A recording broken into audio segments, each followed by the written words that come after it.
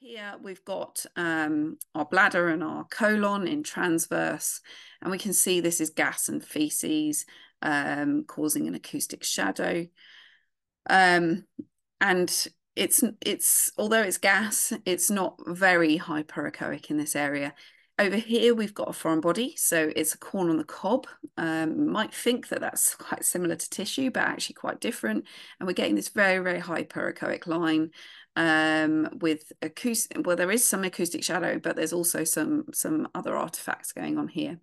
What I often find as well with foreign bodies in the stomach, like this corn on the cob was, that we end up with a lot of fluid as well, and that can often highlight the foreign body also. So particularly if we've got an animal that's vomiting a lot, um, uh, and we're worried about foreign body, definitely look at that stomach as thoroughly as we can. Um, so making sure we've scanned all the way up towards the fundus under the ribs. And if we can, fanning all the way down towards pylorus. And if we have the skills to follow from the duodenum cranially to the pyloroduodenal junction to check that area as well.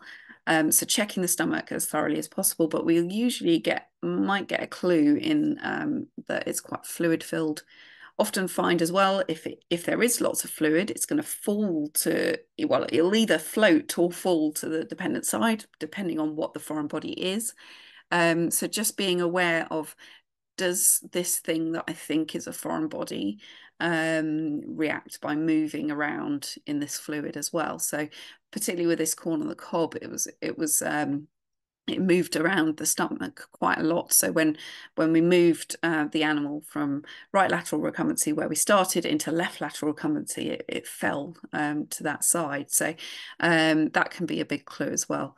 So, but um, you can see this this foreign body looks fairly different to gas. The other thing with it is that it's quite um, abnormally straight. So we wouldn't normally expect to see that. Uh, we, would normally expect to see rounded ob objects, but not perfectly round or perfectly straight. So um, that can be a clue if it's a synthetic um, object.